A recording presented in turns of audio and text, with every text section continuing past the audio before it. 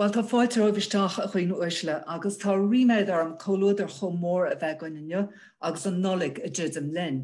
Cé gohfuil COVID-19 a bagat ar an a gcóí tásúlagam gomána sih tanmh as an léocht inúlach se le húna manahan. I've just been welcoming each one of you into this lecture which is our second annual lecture of Cruit Éireann Harp Ireland, and welcoming everybody here today who's joined us from many parts of the world. And we're doubly chuffed to see so many of you here, considering that Christmas is on top of us. And even more so, I was told by an avid GAA fan in my house today, that how could we prioritize the harp over the clash of the ash in Croke Park when Waterford are playing Limerick. But Suffice it to say that at the same time as Waterford and Limerick are playing and we're waiting to welcome Una Monaghan on, we are also welcoming you to um, the week when we received our UNESCO recognition, when we were inscribed on the Intangible Cultural Heritage List, acknowledging Irish harping as a key element of Ireland's living heritage for future generations. And that brings us very neatly to our visiting lecture Dr. Una Monaghan, who's going to present today on New Horizons Challenges in Contemporary Irish Harping. And Una has been forging ahead, creating a new identity for Irish harping. I'm sure that many of you are familiar with her work, so I'm not going to dwell on her many achievements. Suffice it to say that she's a harper, composer, researcher, and sound artist from Belfast who collaborates, improvises, and performs with poets, visual artists, computers, writers, musicians, and others. She has an international reputation as in, in, and is in much demand all over the world for her experimentation with live, electronic, and multi-channel music. I actually had the privilege of hearing one of her most recent, work, recent works, Einracht, which was a collaboration of the Arts Council and the National Concert Hall, where Una had been awarded the Liam O'Flynn inaugural um, residency in the Concert Hall, which was the first one. And it was fantastic to see harping there. But it was just a spellbinding evening where Una brought her work and her approach to work to light in such a, a magical way.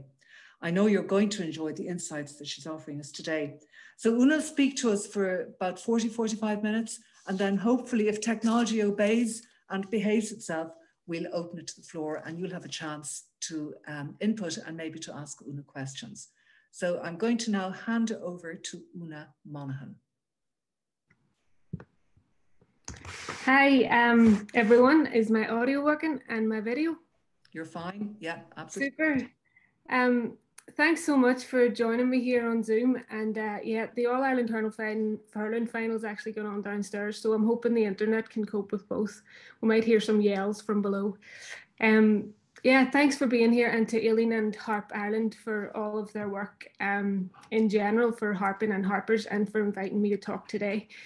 Um, I'll speak for 45 minutes and then we can take questions for 15 minutes after. Feel free to post them in the chat if I think it's enabled as we go along um, and I can get to them at the end.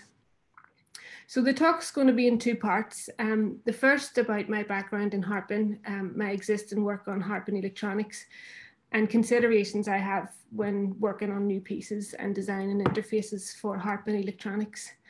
Um, in the middle, I'll have a demo video of some of the interaction control I use when working with those systems.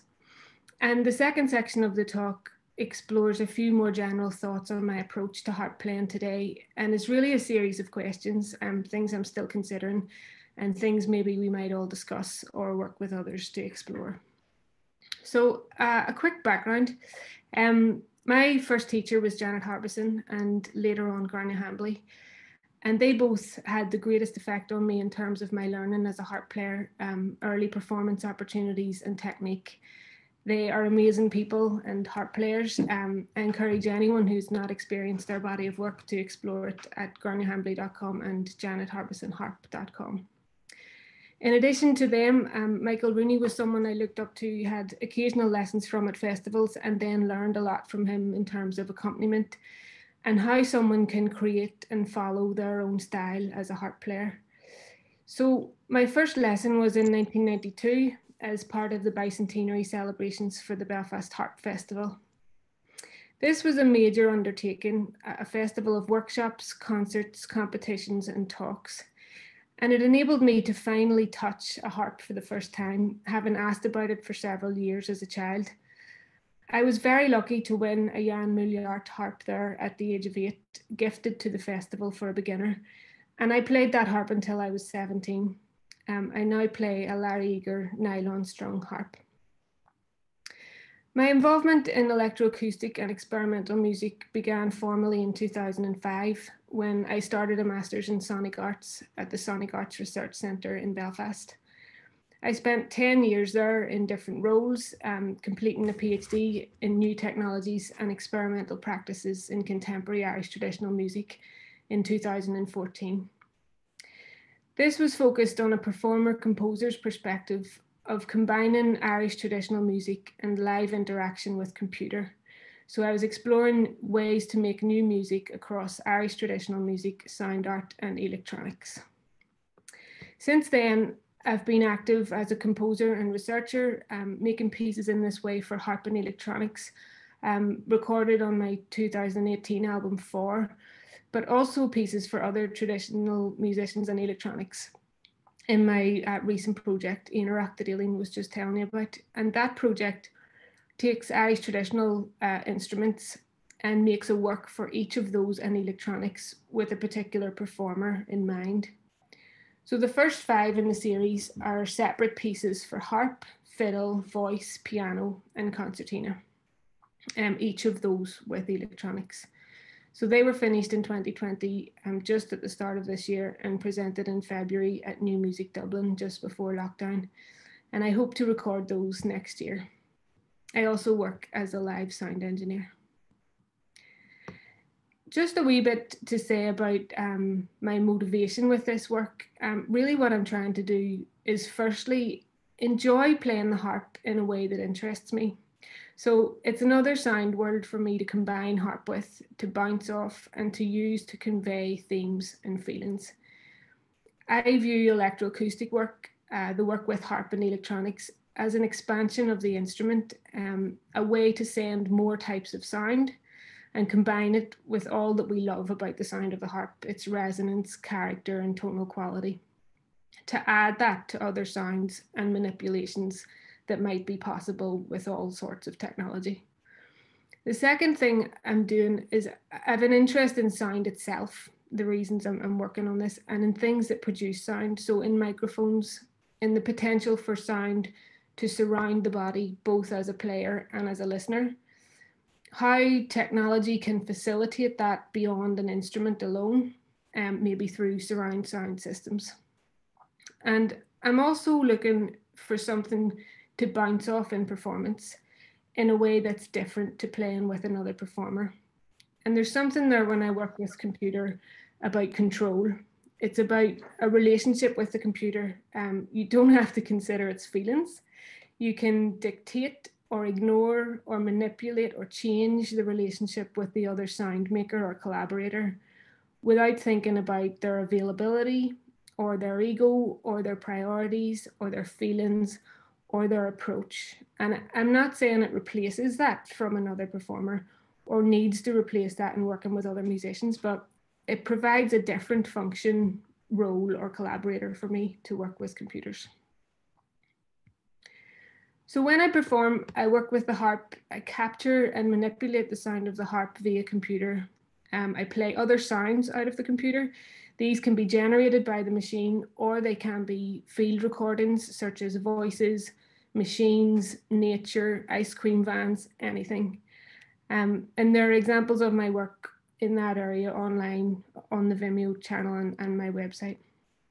And today I would ideally do a lecture demo um, so I would play or demonstrate the things that I'm talking about and it would make that a bit clearer.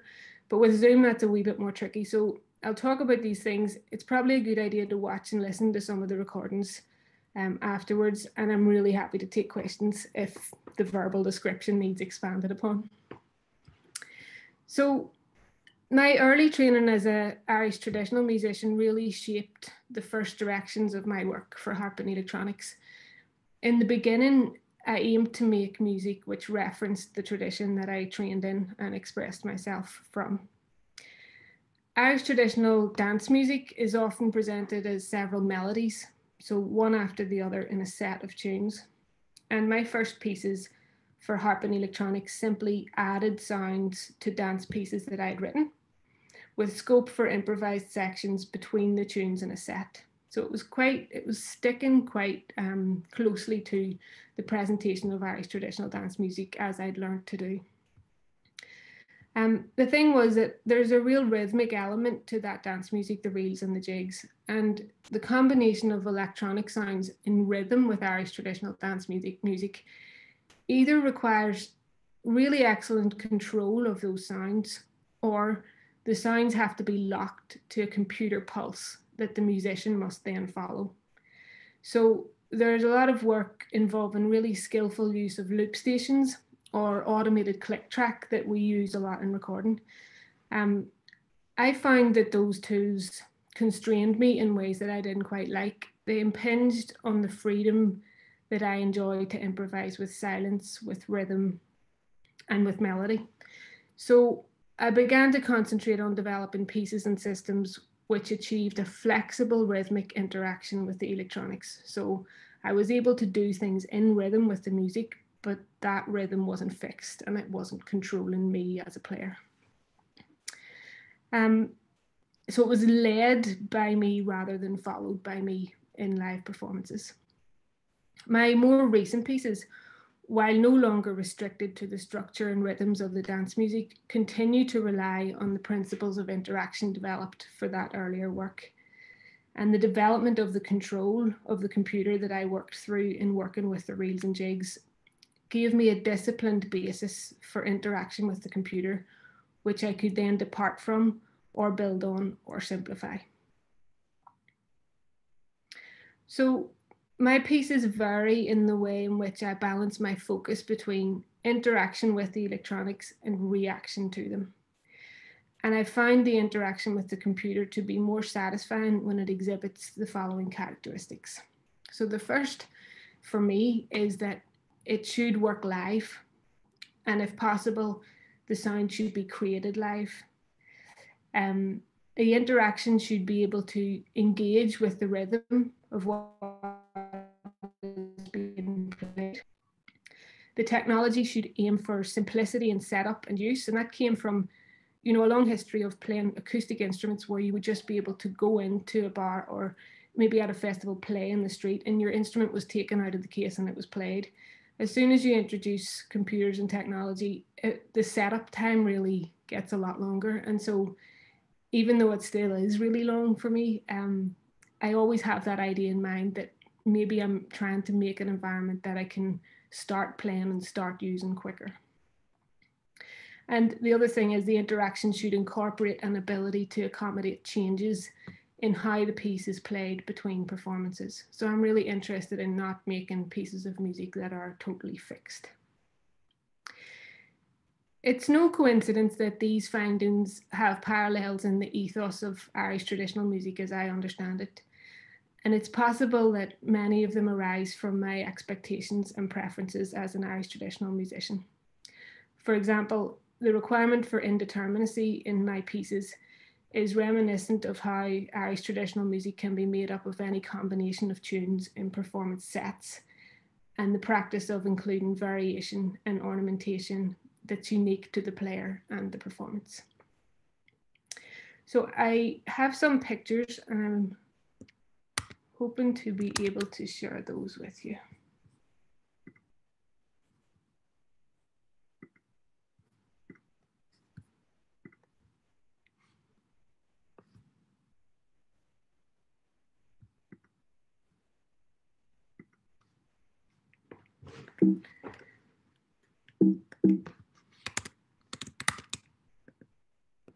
So this is a picture of my performance setup.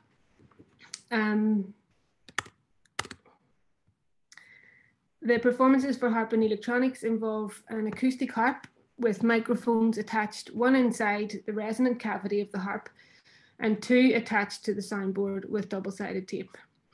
And the microphones connect to an audio interface which is attached to a computer. The sound output from the computer is sent to the sound system in the venue or my own local loudspeaker that you can see in the picture there um, for smaller performance contexts. And depending on the engineer available, I may send the computer output and the clean harp sound separately to be balanced at front of house, or I may send the harp and electronics already mixed from stage. My computer then runs software to produce or manipulate the sound um, for fixed media piece, pieces, that's pre-composed tape with live harp. This may be a digital audio workstation to play um, pre-composed audio. Whereas for harp and live electronics pieces, I use custom coded patches, usually in Max MSP.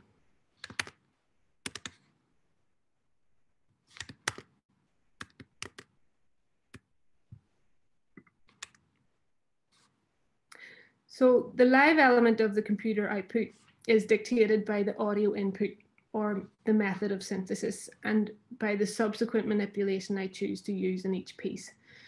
So the audio input can provide the basis of sound to be manipulated, but it can also act as a controller. So if the audio input that I'm given the computer is from the harp, that can either then be changed to produce the sound, or I can use the harp as a controller to decide what the computer does. So for example, a, mac a microphone can determine whether the harp is sounding or whether the harp is silent. And that switch can be used uh, to switch between sounds or behavior that, behaviors that I've defined in the code. Or I can use methods of pitch detection to dictate that some sounds or behaviors should happen when a certain pitch or a pitch range is plucked. In addition to this sound-based control, I use separate hardware controllers. So the nanoKONTROL by Korg I have here offers buttons, knobs, and faders for easy access to settings, switches, or levels in the software. For control linked to HarpPlane, I use a wireless motion sensor um, that attaches via Wi-Fi to the computer. And this sends movement data, which is then calibrated and processed to recognize certain playing gestures um, that I use while playing harp. Um, despite years of playing the harp while seated, I tend to prefer to stand when performing with harp and electronics. I'm definitely less stable in this position, um, and that in turn renders the instrument less stable, and this has implications for technical accuracy when I'm playing. However, if I'm seated, the relatively small size of the Irish harp and my height encourages a kind of a hunched and introverted image on stage, which doesn't fit with my priorities of engagement with the audience um, and the electronics. And I'm still thinking around this um, and about the balance between technique and how I want to engage with the audience.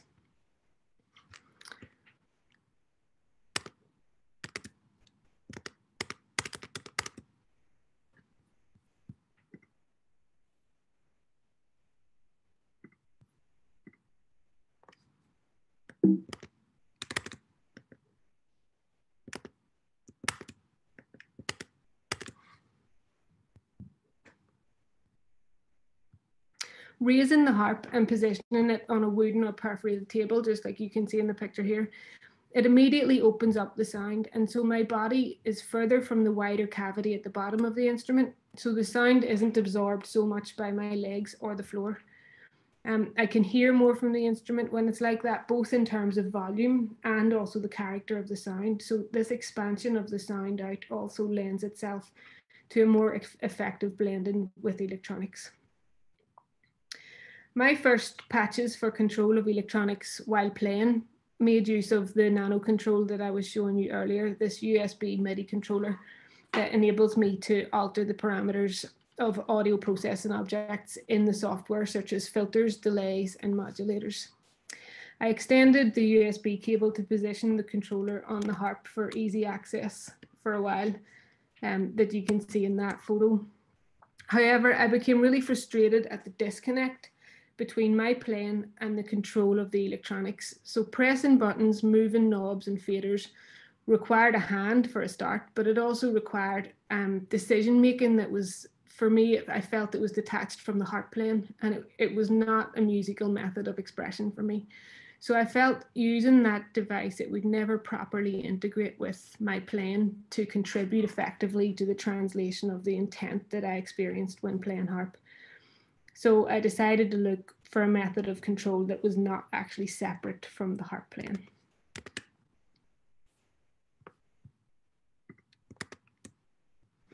I turned my attention then to pitch tracking and immediately experienced difficulties that are related to the harp itself. Harps are multiphonic and extremely resonant, and several notes are usually played at once.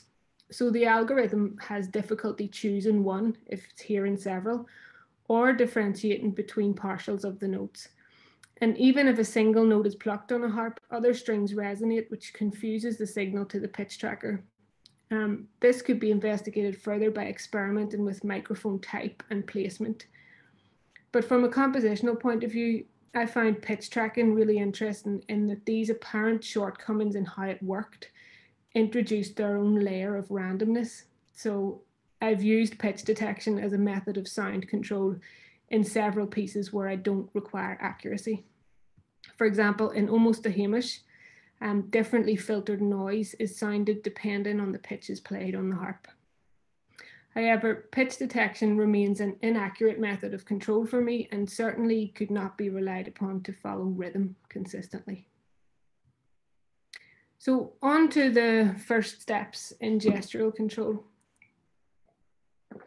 I was initially skeptical, skeptical about using movement sensors to control sound from the computer. Um, body movements have been for me a secondary consideration just a necessary action to produce music from the harp. And similar to my experience with the nanoKONTROL, I expected that data based on the music played, the actual notes played through analysis of the audio, rather than movements made, would be the most meaningful way of controlling sound from a computer. But as a compromise, I chose to focus on gestures we normally produce when playing traditional harp. Um, few traditional musicians, myself included, I would say, um, we're not really trained in movement based performance. And the body language of traditional musicians in performance is often very introverted. And any gestures translating expression will be those related to a musical purpose. So at first, the decision to restrict interaction I already made while I was in the harp. That was influenced by a preconceived ideal of maintaining normal playing appearance. So I didn't want to be making gestures that weren't necessary for playing harp. Um, but also it was appropriate in the context of the fast dance music that I was trying to work with because there's little room for auxiliary gestures anyway when you're playing at, at speed. The main playing gestures on the harp are related to plucking motions um, and are localized to the fingers. So the sensors I've been working with are very sensitive, they're reliable, they're small, but they've all so far been too big to position on the finger and tracking fingers would result in really a lot of data. Um, so I looked for other places to put the sensors and in placing so much importance on playing gestures, I almost disregarded as insignificant the movement or lack of movement between notes. So instead of focusing on capturing plucks, I started to focus on the space between the plucks. And I realized that a gesture made consistently before or after playing can be just as useful as the action of playing. So similar to the relationship of a photograph with its negative, the length of time I choose to leave between left hand chords is as valuable to capture as the action of playing those chords. So the absence of chords is a musical decision and an indication of expression as much as the existence of those chords. And as it happened, these intermediate points between the chords have provided the instances of control that I've used many times to tell the computer what to do. So I now use a motion sensor on my hand, this little box, it normally sits here um, and is secured with elastic really. Um, the motion sensor sends continuous accelerometer data to the computer which then um, I process that data in MaxMSP. And data from an accelerometer records changes in speed um, rather than the actual speed or position relative to the harp. So accelerometers are good at um, they're good at measuring sharp movements. They're most likely to be discernible because they represent a, a range of speeds over the course of their execution. In Irish harp playing, the fingers of the right hand commonly play the melody, while the left hand provides a rhythmic accompaniment. To capture rhythm from the movement of the right hand, we'd require monitoring of these finger movements because the hand itself moves continuously and comparatively smoothly up and down the soundboard of the harp. The movement of the whole right hand doesn't follow really the rhythm of the music necessarily the actual movement of the whole hand. The left hand, however, often changes direction to move up or down the harp after each chord. And I therefore wear the sensor strap to the left hand and I'm able to register most of these sharp movements at the end of chords while playing as I would naturally. So stopping the computer sound is a challenge when working with live electronics. Computer sound can be triggered or created with controllers, but it's usually really difficult to effectively stop it happening. Um, this is because it's easier to define when gestures or sounds are happening than it is to define when they are not or they've stopped. So with acoustic harp, I often use one of the contact microphones as a gate. So the computer is only allowed to sound when the harp is playing. That microphone knows when the harp's making noise and it only allows the computer to make noise at the same time. The damping of strings then um, provides a sufficient variation in dynamics for that microphone to be reliable. And the ability to silence the computer using the harp in that way with one gesture, um, it strengthens my perception of the harp playing as having been expanded to fully control the electronic sounds because I can silence the harp, and in doing that, I can also silence the computer. In performance as well, um, the action of damping those strings combined with the corresponding disappearance of the electronic sound can be quite dramatic. It's effective visually for the audience, and I find it quite enjoyable as a player. Um, such a gesture can enhance the understanding of the relationship between player and electronics, and that has been shown to increase audience enjoyment of a performance when the audience can understand how the electronics are being controlled and what's going on really. And where the electronics are controlled via motion sensor, I'm really aware of keeping my left hand still when I want silence. And that's especially important as pieces end, because if I move my hand and that creates sound from the computer, if I've finished a piece, I have to keep that hand still until I've told the computer that the piece is over. So I'm going to try a demo now of one of the pieces that I I use uh, I work on with Harpen Electronics. It's called Neogue, and I've got a video of what I see on screen when I'm playing this piece. And there's no sound to the video so I'll let it play. It shows a demo of the, the screen and I'll try and explain over the top of it what's happening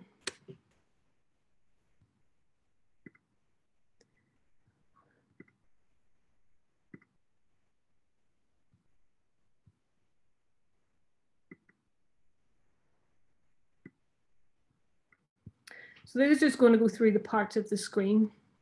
This is what I see in uh, at the so I have to turn on audio to allow the computer to sound. I then turn on the sensor to make sure it's reading. Um, audio comes in from a microphone on the harp and I can process that audio and record it. Um, this is the silent microphone I was talking about, which senses when the harp is being played or when it is silent. Um, up here is the dampen motion. So that's a gestural thing that the motion sensor can recognize um, when I've damped the strings. This part monitors when the left hand is still. Here you'll be able to see the incoming sensor data from gyroscope, accelerometer, and magnetometer. This is a buffer that records sound from the harp that I can then use to process. And this is a matrix which routes the signals um, depending on which section of the piece I'm in. And I can tell what section of the piece I'm in here because different sections of the piece will have different behavior coded. So I use a wireless motion sensor um, on the back of my left hand. That's I usually have a black cover on it and it's a slightly older version of it in that video. So here I turn the sensor on. You can see the um, motion, the, the data coming in from the movements. And this also tells when it's still. So here's the stationary hand. This will rise when it's stationary and move down every time I move the hand.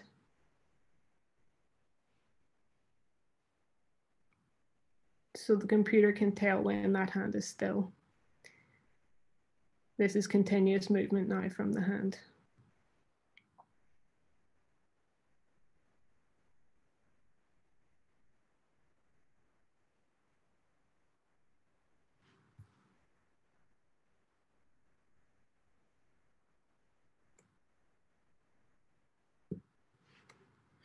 And now um, you can see here when it recognizes when I'm making a dampen motion. So here's the dampen motion with the hand and this will flash every time.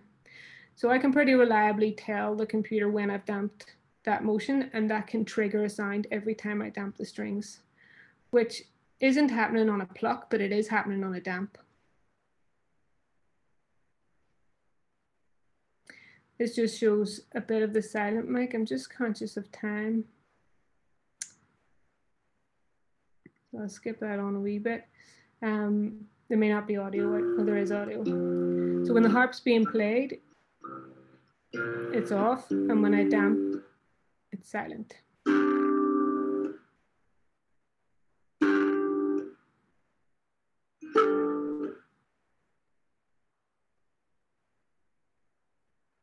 So during the first part of this piece, I play and record into the buffer. So here's the direct sound coming from the harp. And that goes into this buffer, which is then populated with an audio file that I've just played from the harp.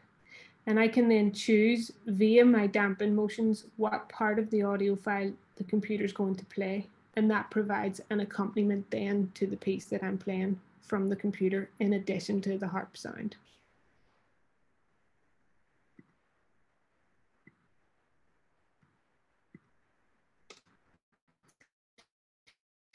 Is what it looks like towards the end of the piece when there are several different effects going at once. And the harp damp, as I damp the strings, chooses positions in this audio file to play snippets of. Okay, so hopefully that shows a bit of what I see when I'm playing, and I'm happy to take questions on that at the end as well. So I'm going to talk a wee bit about um, compositional considerations and improvisation with harp. I've used a range of processes and programs, um, depending on what it is I require for each of the piece pieces that I'm writing. So I often want to generate the computer sound live, and I often want to generate it from the harp itself. I'm really interested in the importance of live performance as a period of creation itself. So when performing to the audience that the music is being created in some way there with them. Additionally, the use of the harp sound as a basis for audio processing, so using the harp as the fodder really for the electronic sound, reduces in, or results in sonic material that's timbrally related. So if I make the electronics out of the harp sound, then it's going to be matched in some way to the harp that I'm playing, but isn't predetermined. But if you loop or live sample from the harp, it's really complicated by the resonance of the instrument. So if you make a change or a loop or make a little recording before the sound dies away or is damped from the harp, if you're making these recordings in real time, clicks can be created in the sound from the computer because the harp takes so long the sound to die out. This continues to be a problem even if the plucked strings are damped, because there's likely to be audible sound from the resonance of the other strings on the instrument, depending on the microphone source and the level.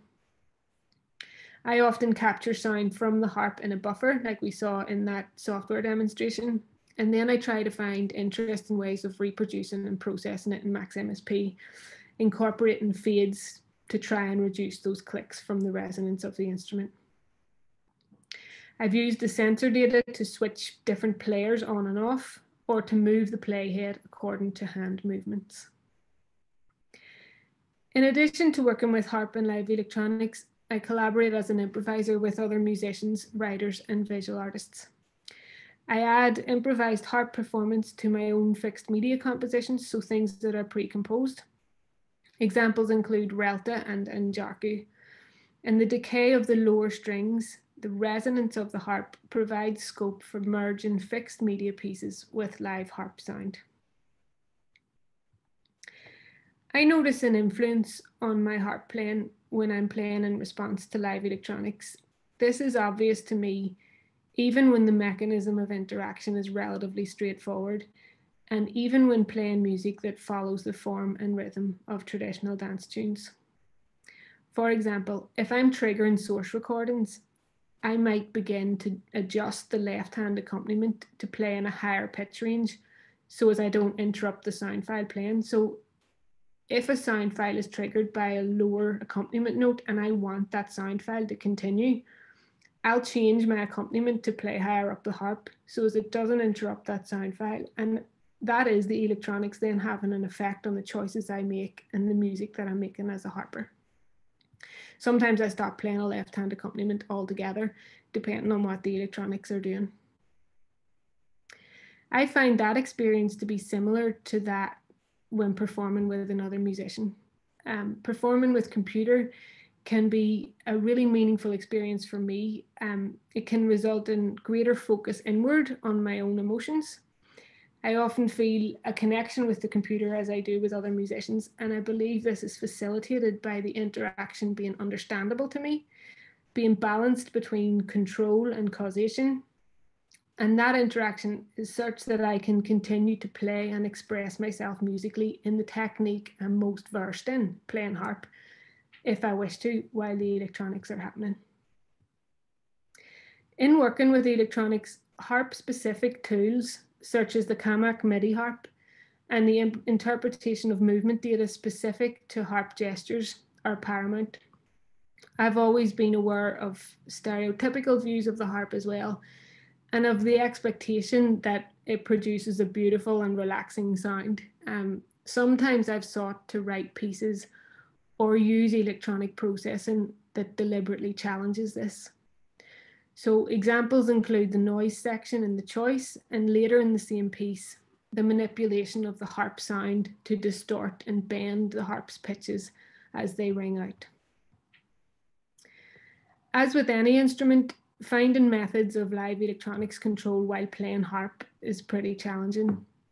With an acoustic harp, pitch tracking is really difficult because the instrument is so resonant. Uh, gestural control is difficult because of the relative lack of movement of the body when playing. Um, and those movements that we do make aren't necessarily related to expression or meaning in performance. The harp's size, shape, and visibility from stage really increases the potential for an audience to see and understand the relationship between player and electronics. So if you have an audience looking at the harp being played, relative pitches can be understood based on the hand location. If you're at the top of the harp, it's high. If you're at the bottom, it's low. People can see that from an audience. And playing gestures, including the silencing of the harp by damping all of the sound and strings, those are really identifiable actions. So it does lend itself um, to working with electronics. Preconceptions about the harp and its recognizable sound that I was talking about before, it can really provide a palette to work in opposition to. Um, and with some effort, the harp can be an exciting instrument to combine with live electronics for both performer and listener. So just to finish, and maybe to feed into the discussion, if anyone's interested, um, I'd like to add four questions that occupy me on an ongoing basis, just around the heart, more more general questions. The first one is about um, instrument access and diversity. see if I can share my screen again here.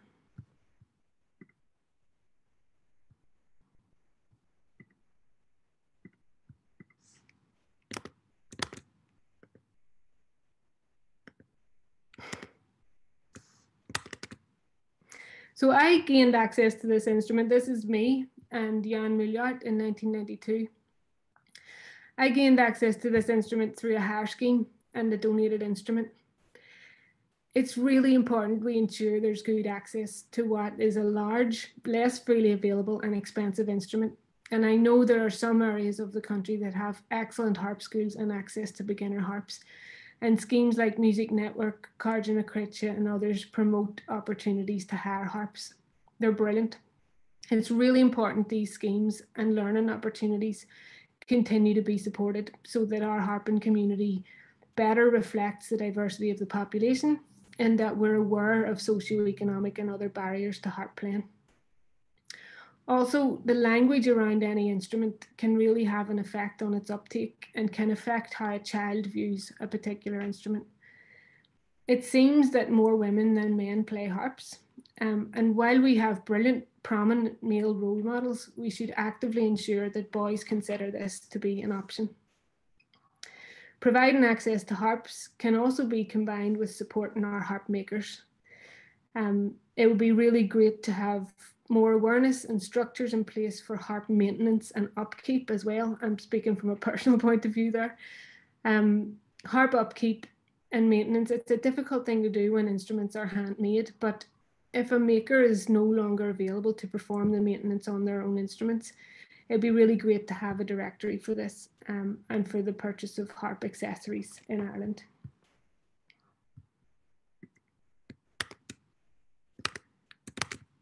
The second thing I'm thinking about is um, nationalism and symbolism. And I've been aware of some of the discussions on the harp as a symbol, as a national emblem, as a government logo. Some of these discussions brilliantly organised by Harp Ireland and the Achill Harp Festival as well, I remember a few years ago. And it's a really interesting topic in terms of the image of the harp, um, how it's used politically and culturally versus the reality of life as a harper and how or if those things interact.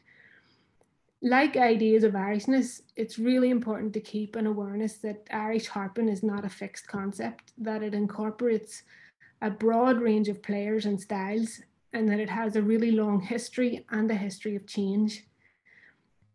Um, harping should be open to change in a way that Ireland and traditional music more generally needs to be. And I think this perspective is born out of two formative early experiences for me. Um, the first was the really rich experience at the bicentenary of the Belfast Harp Festival in 1992 that I was speaking about. Um, this was my first encounter with harp playing, my first lesson, and a brilliant introduction to what has become a constant interest, companion, pastime, and work. Um, that festival featured harp players from across the world. I particularly remember Alfredo Rolando Ortiz, Sileas, uh, Mary Macmaster and Patsy Seddon, Robin Huw Bowen, and others. And it gave me a sense from the very start that harp playing encompassed many types of music and sound. As an older teen, I realized that I no longer played an instrument that commonly featured in orchestras. And I wanted to find a way that would enable me to play orchestral harp music. So I sought out um, a summer school on classical harp playing.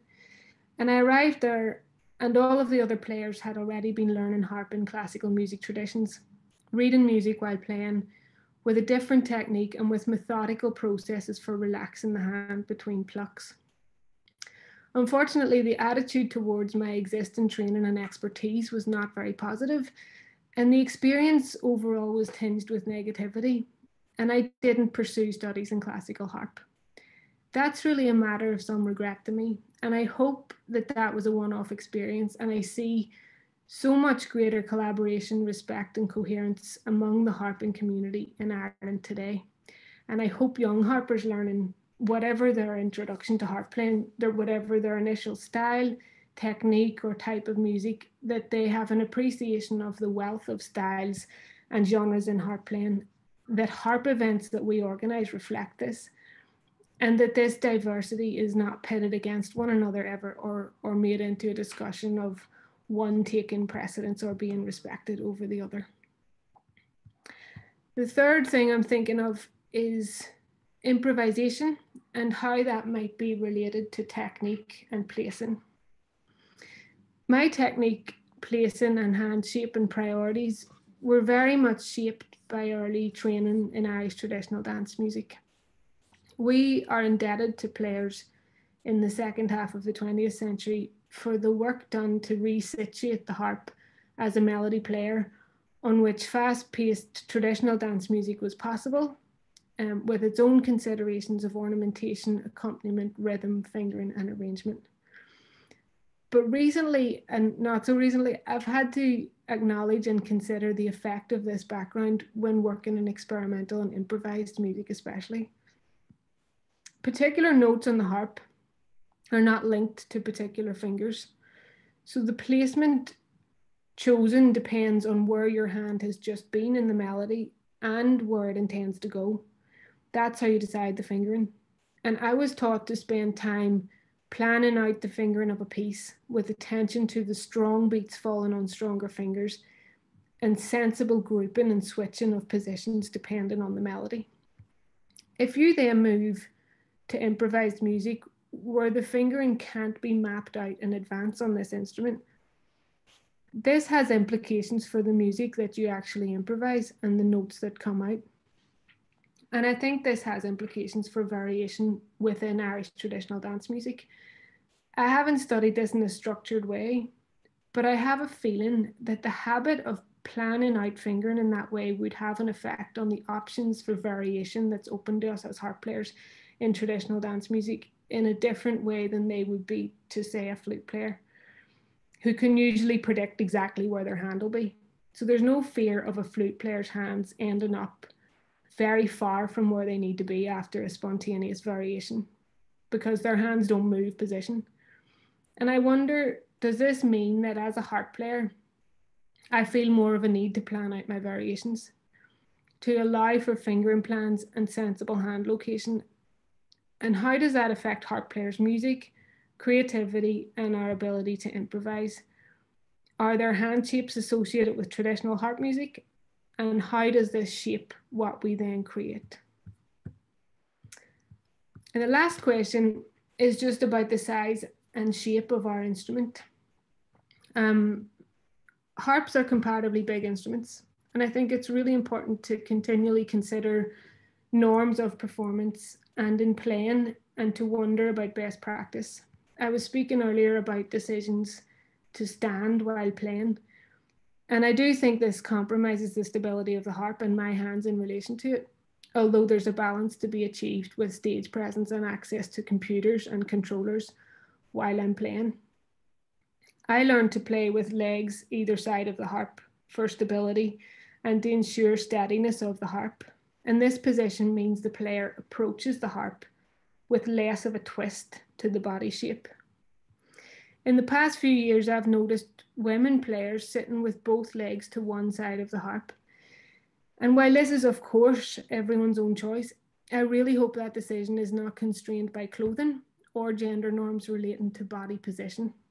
It's really important that we promote playing positions that provide stability and don't result in an unnecessary body twist and any compromising of harp technique or potential for injury should not be gendered. Um, harp players are susceptible to injury, and it's important that we're aware of this from an early age um, regarding the effect of shoulder tension, carrying harps, twisting while playing, as well as tendon, arm, and back pain. For example, I would love there to be a better design of trolley it's still just easier to carry the harp than to put it on those wheelie things, um, with accompanying physical consequences over time. Um, traditional music in particular does it doesn't have such a long history of attention to the physical toll of playing an instrument. And I'm really happy to see all of the work by Liz Doherty and others to raise awareness of this to ensure that musicians continue to play without pain for longer. And I really welcome any resources aimed at harp players around physical health. So um, I'll finish there. Um,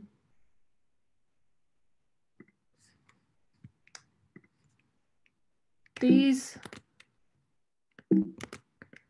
these are some of the people who have supported my work that I'm really grateful to.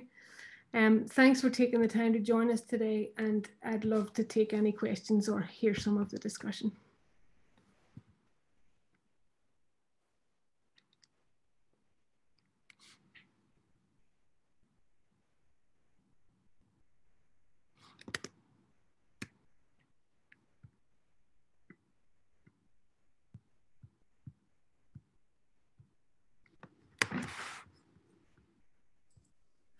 Many thanks, Una. Um, I hope everybody can hear me. And I'm going to ask um, if people would like to, to input, if they can raise their hands and unmute themselves before they do. But that was an absolutely wonderful insight, Una, into your own thinking and your practice. And you've raised so many questions for me in terms of those four questions that um, you finished up with let alone there, there is food there for thought for us all for single lectures on each one of those items, apart from what you shared at the beginning. I have to say that I'm gobsmacked by the technology and all of that technology um, is going apace with how you interpret the tunes and the actual music itself. So um, I'm going to open it to the floor and um, if I can just manage to make this technology work. I'm bringing people back in on gallery. That's great. Um, now, would anybody like to ask a question? Elaine, I just see that the chat is disabled. Sometimes it's easier to put things in the chat. Yeah. And so maybe people can put it, any questions there. And, you know, I know what it's like in these things, asking questions. It's kind of terrifying. There's 25 wee blank pages. mm. So, you know, feel free to chat and feel free to post a written question. I'm really happy to talk. That's great. So the chat is enabled now? So it's over to people now to, to input themselves. I see people coming in here. Would anybody like to kick off? Would anybody like to start? Very colloquial expression to use in a day like today. Yeah, what's the score in the hurling? Limerick, got it. Limerick won. Oh my God. Great, great celebrations there.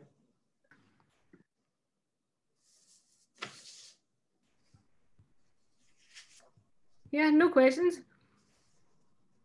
Um. Okay, I, I can say something. Yeah. Um, Kathy, yeah, come in, Kathy.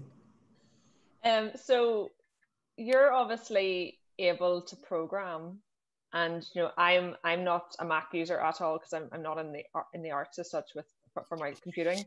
Like, is there anything that you find that can't be done on a Mac that you would prefer not to be on a Mac for? Is or is Mac always the way forward? Do you know just thanks kathy and lovely to see you. Yeah, um, just to just to clarify that when i say max msp it's a software environment oh no no, no i know that. I know that. The mac i've, I've been looking at max msp um on I, i'm pretty sure it runs on other computers. Yeah i suppose just whenever you're writing algorithms and stuff like are all the That's programming all languages. Okay. I mean i i can do some other things but i found max to be i think it's pretty much everything that was on my album was either pre-composed tape or or max.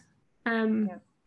and so it it's kind of a steep learning curve for that software. And like any creation pro- process deadlines are amazing. Like a lot of the reasons that i learned how to do this stuff was by having a deadline for a piece or having a deadline for something and then having to make it in that space of time. Um it's it's like learning a language as well. If you have to immerse yourself in it for a, a, a long period of time or an intense period of time, you get further quicker. Um, in saying that, that I just tried to lay out some of the reasons why I've gone down that changeable software route. There's loads of commercially available pieces of hardware like the loop stations, like the um, pedals and things that if you're interested in it, definitely might work. I was just trying to describe some of the ways in which the harp is actually really hard in that respect because it doesn't oh, yeah, stop, doesn't stop yeah. making noise until you actually cover it in a quilt. yeah. So um, yeah, but also happy to talk about that as well. yeah, no, I was, I was just looking it up and it was just yeah, because anything that it was mentioning, I would probably be easy, you know, happier doing on, on a Windows base. But I think it does work though. I think it's also available on Windows. Yeah. Mm. Can I bring Ethna in here? Ethna Benson. Ethna, you're welcome. Sure. Hello. Thanks, Hi. Kathy. You, John Mike, can you hear me? You can. We can, yeah, we can. Yeah. Um, well, I would have a kind of a light-hearted question because I'm getting bogged down in all the technical stuff, which is fantastic and fascinating. But my uh, my question would be that they all of your work around has been around the harp uh, and the computer. I suppose you see that as another instrument, which I understand. Um, I wonder, with all the difficulties that you've outlined in using the harp in this context, did you ever want to play anything else or to be involved with developing this work alongside a, a different instrument, which wouldn't have uh, given you the challenges that you've got from harp playing? You see, it's maybe my fault for listing all of the challenges. I mm-hmm. figured I was talking to a harp audience, you know, but um, what I didn't say, which you've really brought up, is that the reason I'm doing this through the harp is that I've had 20 years playing it before I started with the tech. And if I was interested in making music from computers, to me, eh, I had to build on my existing skill. And so I was only going to go further back if I disregarded all of the effort I'd already put into playing harp. So harp remains the the the way in which I can express myself musically at all, really. Um, and so I had to build the technology on top of that. It seemed daft to me to disregard so much effort and practice and years of playing, and also the love of the instrument the technology sits on top of that for me. And my my first expression musically compositionally emotionally to an audience is through the harp. And that's why all my tech work is focused on how can i base this how can i move through the harp with this stuff. Um, there's a lot of tech that involves sitting on a stage pushing things like this playing computers playing stuff out of computers. But it's really important to me to do it through the harp because it's my first method of conversation with an audience.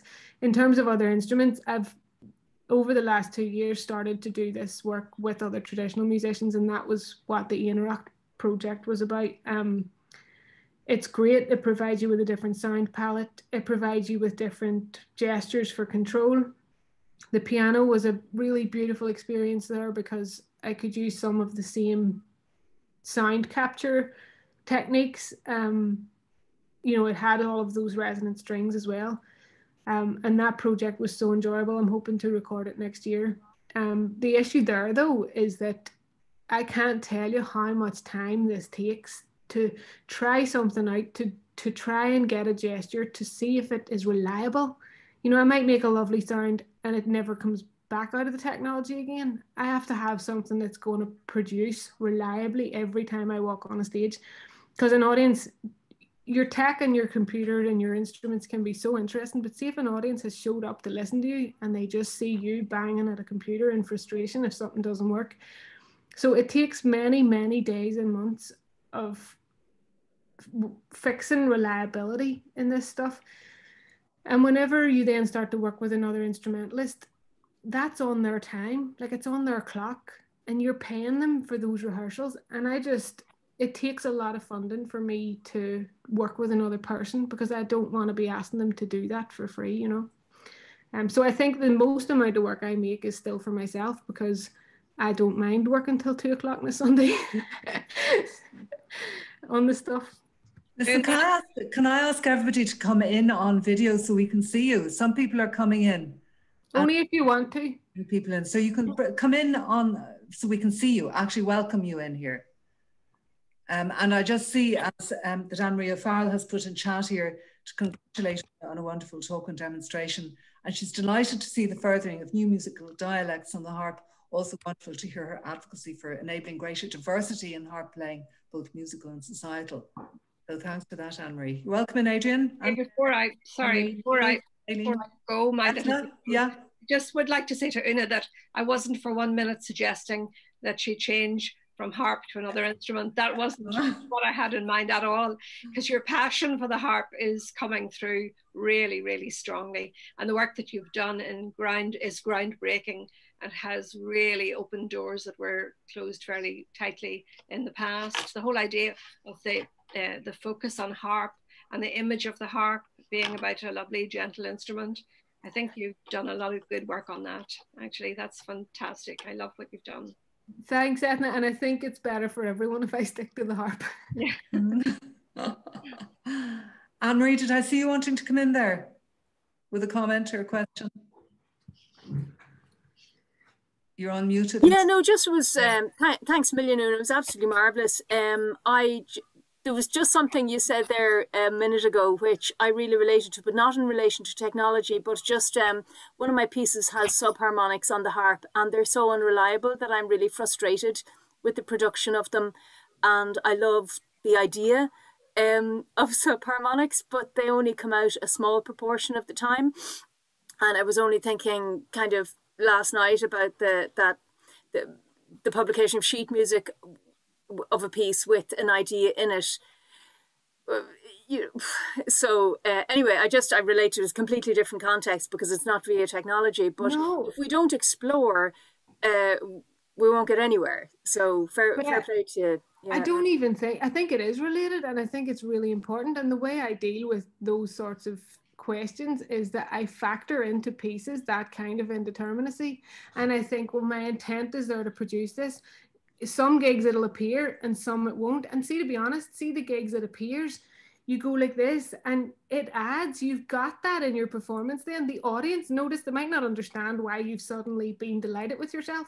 But I think like continue to put those in. Um and and also just the notation question, you know, not all of this work is notated. In fact, so little of it is. Um, the indeterminacy of it is really a part of it for me. Um, and in a way, I just try to settle myself in that regard by saying it doesn't matter if it doesn't come every time. There's this is the thing about fixed pieces of music because I I've played them for for years and very related to performance anxiety with me as well. That if you have a piece of music that is supposed to be fixed, well then you can screw it up.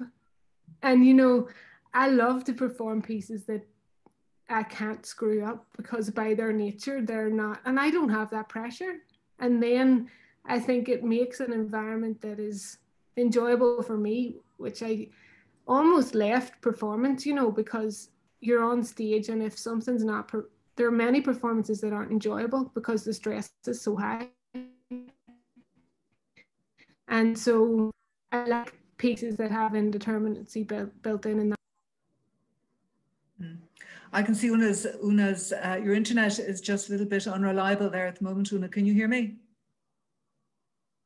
Yeah, you can you unmute there again. All right. You know what I was fascinated with was when Una was talking about your, your really keen interest to establish that connectivity with the audience, Una. And then at the same time, this parallel connectivity that you have with your computer and the interaction of that. How do you manage to um, cope with those competing priorities? For yourself and maintain that connectivity with the audience, which is so important for a musician? I don't really know. I mean, I manage it to different extents on different nights. Um, I try to write pieces that are going to inherently have some connection with the audience, even though I might not know what that is. And one of them I'm thinking of is the Chinwag, which is a piece based on a conversation, women's voices. Um, an older generation than me you know everyone knows a, a person of that generation and identifies with that style of speech. And once those voices come out it was only through feedback from audience and different concert, concerts that they said you know i got from that piece this or that piece reminded me of this person that i knew. And if you introduce elements like that which in a way will strike some sort of chord with with everyone in some way then I engage with the computer in a way that's responsive for me, and I'm confident that the field recordings and the electronic sound will in some way reach the audience. And then I try to reach the audience in the pieces between the tunes where I, I speak. Um, but yeah, I think the audience are also reached when they see you having a meaningful experience with electronics live. That's what I'm hoping anyway. And certainly, if anybody gets, if we're lucky enough for Éineacht in itself to be performed again, Una, I would strongly advise everybody here to try and get to it because that was one um, experience. In fact, it was an experience where you managed to meld the instrumentalist with the visual art, with the whole dynamic around the place and lighting, sound. It was it was an absolutely wonderful experience, like I was saying at the outset. So, would anybody else like to come in?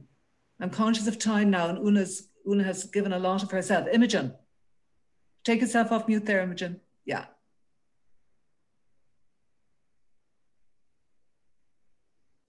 I think you're still on mute there. Bottom left, Imogen, or put it in chat. Put it in chat. Oh, she's no. Hi, Imogen. Yeah. Put it in chat, Imogen, if you like. While we're waiting for Imogen, anybody else like to come in? It's really nice to see everyone. yeah. I think that the the um, the point, Una, that you made about um, access and diversity and particularly access to harps is really important for all of us and for many. yeah but and i think brilliant work is being done i mm. think there are certain places in the country where there's a really rich access mm. to hire schemes i mean i'm saying this right now because i know of a beginner in england actually where i'm trying to source a harp for that person mm. and I just know, I mean, I know what my own story is and I know what my mm. access to harp was, and I know how many points along the way where I just might not have had that access and so mm-hmm. it's it's so important to me to to do what we can and to continue to support these brilliant schemes that you yourself and, and others are running mm-hmm. i know we yeah. have the gang down there in wexford as well mm-hmm. and i think i think one of our aims harp ireland Cruit Éireann harp ireland's aims is to promote Irish harp making and to make sure that we can get as many out. I think Music Generation is doing remarkable work there as well. Yeah, and a lot can be done with, you know, smaller harps in the in- interim, you know, mm-hmm. as a first contact at a small harp. We know this, you know, with even half mm-hmm. bladed or. Mm-hmm. And then the, the, the getting more boys to play. We've we have been working very hard on that, and I think again you're competing with the hurling and the football. Um, yeah, to... and I know my own. You know, I know I know loads of ones that had to pick between sport and and music, and you know, if they don't want to play grand, but I just want to make sure that they're aren't barriers that don't need to be there. Okay. Uh, Kathleen, do I see you wanting to come in? I see Kathleen's hand up. Kathleen, come in. Okay, let's unmute Kathleen. You there, Kathleen? Uh, can you hear me now? Yeah, we can. Come on in. Yeah. Um, Una, many thanks. It was absolutely fascinating.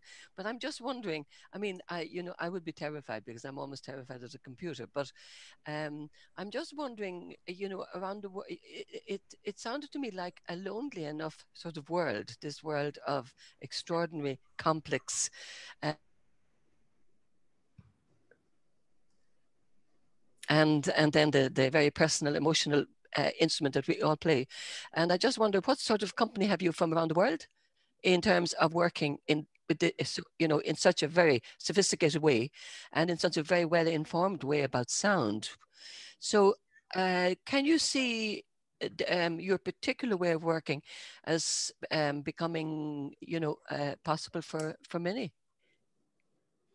Yeah, um, it's a great question, and it's one I think about a lot because I think of course your own musical um, journey really shapes what you end up doing. And i know many people who got involved with groups and bands very early on. And for whatever reason i was never in a band. And i i just a lot of my playing has been on its own. And maybe okay. to do with the instrument that i played because it's self-contained and it can accompany. Um i really would have loved to have been in more bands as a kid. Um mm. so i think I started out and started to look for ways of making music that was more than just me, but I didn't really click with other people to play with. Um, in terms of the international work being done, yeah, I've had a lot of support and residencies and influences from people who work in these technologies and actually I adapted the harp gestural recognition stuff from the work of violinists and Mari Kimura and IRCAM in Paris. So yeah, I mean it it does I'm really lucky to own a computer to have access to the funding to the people who have supported me to to fund the, these motion sensors and things. And it has been a long haul. You know, it's been I think I've been working in this area for 15 years now. So it doesn't all happen at once. I think all techno- technology tends to get more accessible and cheaper as it moves on. Um, there's a lot available at the minute um, in terms of loop stations and pedals and things and ways to um, mm. manipulate sound. But I guess you need to have a computer for a start to do what I'm doing. Um, so there's company, yeah. There's a lot. I, I work a lot in academia as well, and there's a lot to read there and to work with in terms of research that's published, but it it does require some translation, I guess. Um, and I'm lucky to have had a background in science too, so I'm not really put off by, um, I guess, technical language.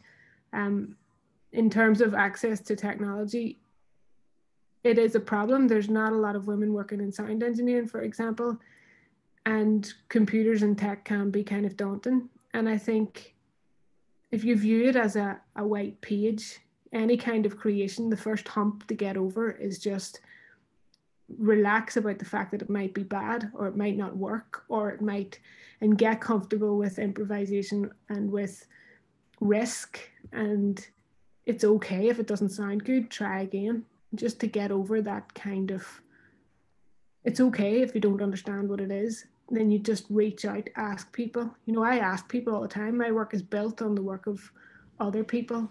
Um, so, Una, I, think- I, I, thank you for that. I see um, in of time, and I'm I know you have people absolutely you you're holding them here with your interesting ideas, but I don't want to hold you up nor people up either. But just say, Imogen has a question here that she's very interested in how you describe live performance as I lost it there, and that was another question came in as a period of creation.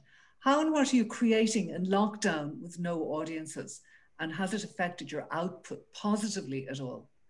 So, has lockdown increased your creativity, given you more time and space, or have you missed the audiences, which obviously is something that a lot of artists will empathize with?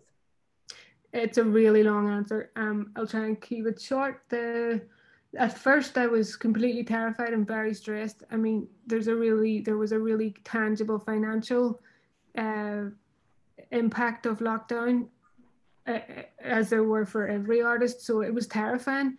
And then I was able to apply for some of the schemes that were introduced for um, coronavirus support. And once I got one of those, I was then found myself with the initial terror of not being able to afford to live so much. I, uh, once that's covered, you then realize, well, I can't go out and I can't fly. And it is true when you're working as an artist, sometimes there's a lot of travel involved.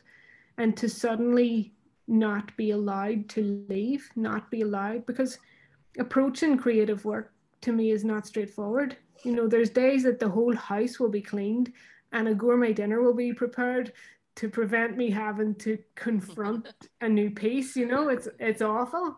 Mm. Um, but once you're not allowed to go out, you're not allowed to travel, you can't visit your sister. So yes, I have made some things. Um, some of them were influenced by lockdown. The, the improvised music company um, had a series called Piece by Piece, and that is a kind of a good um, narrative of, of my initial periods of lockdown. I'm now working on a lot of uh, composition commissions.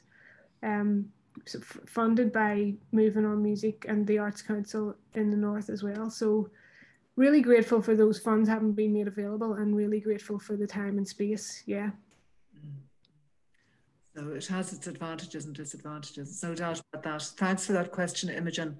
Look, I'm really conscious that that Una has given us such an interesting overview of her music and what she does, and we're very privileged to have Una join us for Harp Ireland's second lecture.